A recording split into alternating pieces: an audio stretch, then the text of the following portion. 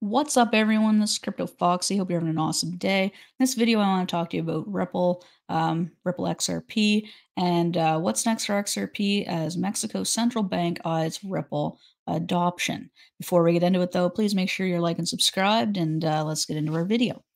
So we have here um, the bank in Mexico is looking at introducing Ripple into uh, their banking system.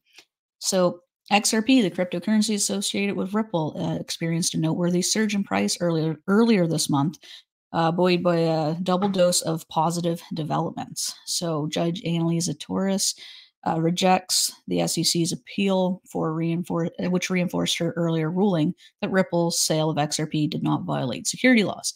Ripple recently secured a full operational license in Singapore as well. Now we're talking about Mexico. So, according to a document on Banco de Mexico's official website, I'm assuming Bank of Mexico, uh, the central bank is planning to utilize one of Ripple's liquidity solutions, a pivotal bridge between the US dollar and the Mexican peso.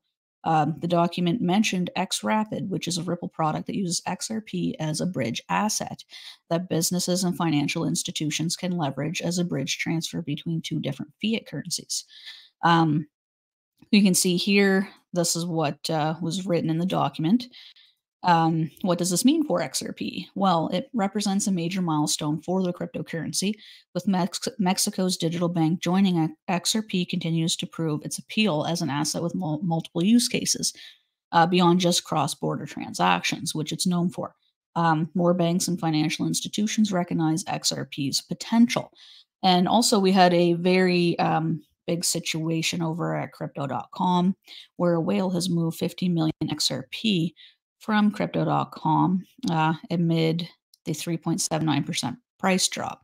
So prices have been dropping because of the uh, the uh, Israel and Palestine conflict over there. That's just tragic what's going on. Um, so the, the markets are acting negatively towards that news.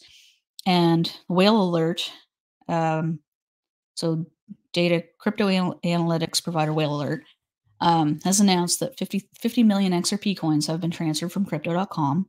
One intriguing angle to this fund outflow is that it was sent to an unidentified wallet.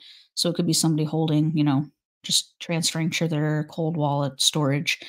Um, so it could be nothing unusual, but move funds were worth about $24 million at the time of transfer. Um, according to previous reports, 1 billion XRP tokens were moved by Ripple and Whales following the implosion of Silvergate and Silicon Valley banks.